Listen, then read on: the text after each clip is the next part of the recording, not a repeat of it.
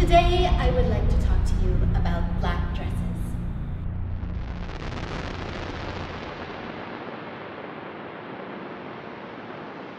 What might our choices convey about our identities? I'm not complete yet. I am still in process.